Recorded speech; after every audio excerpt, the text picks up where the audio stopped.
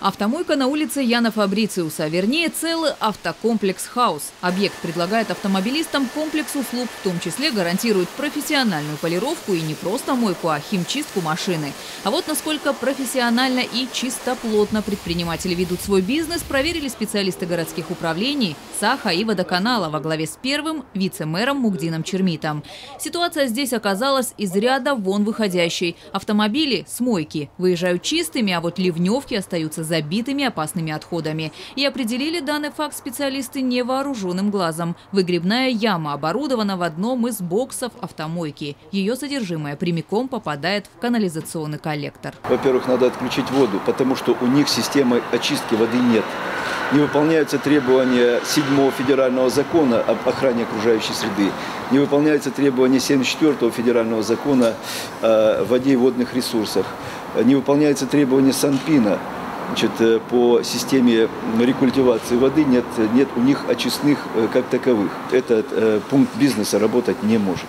Потому что ну, они сливают э, нам на, э, в ливневку и в канализацию неочищенные стоки. Спрос с автомоек особый, ведь здесь используются специальные химические средства. Все автомойки должны быть оборудованы системой очистки воды, которую можно использовать повторно. Но таким образом организуют свой бизнес единицы. Вот и здесь замаскировали след преступления, ту самую выгребную яму, мусором, который, судя по всему, копится неделями. Договоры на вывоз отходов и на водоснабжение у предприятия формально имеются, но со сторонними, а не муниципальными организациями.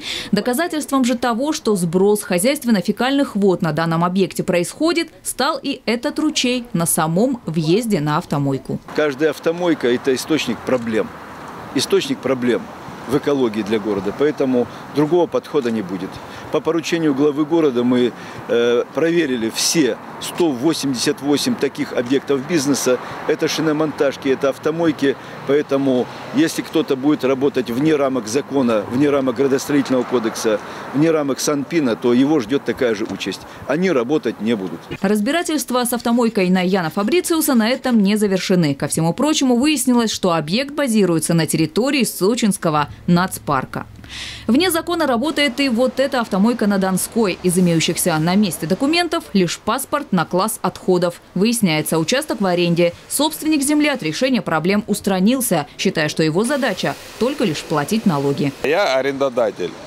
Ко мне вопросы только земельный комитет, основания документов. А я за них не могу отвечать, они субарендаторы. Но отвечать за себя не стали и сами представители автомойки. Скажите, пожалуйста, Занят ли? Заняты, не видите? Нужные документы городской комиссии так и не предоставили. В любом случае, отметили специалисты водоканала, договор с данным объектом они не заключали. Да и картина знакомая. Отработанная вода здесь также стекает в канализационные люки. Вердикт отключить объект бизнеса от воды. Если нет договора, они не имеют права пользоваться ресурсами. Контролируем эти отключения, чтобы люди самовольно не подключались. Как пример, это вот улица Пирогова. На сегодняшний день предъявлен собственнику штраф в размере там, 4 миллионов рублей.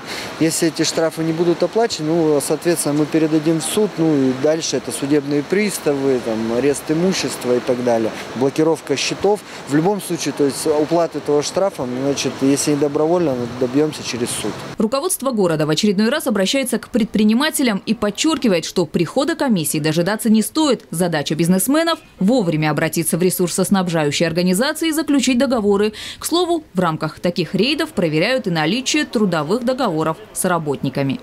Инга Габейша, Николай Тихонов, телекомпания «ФКТ».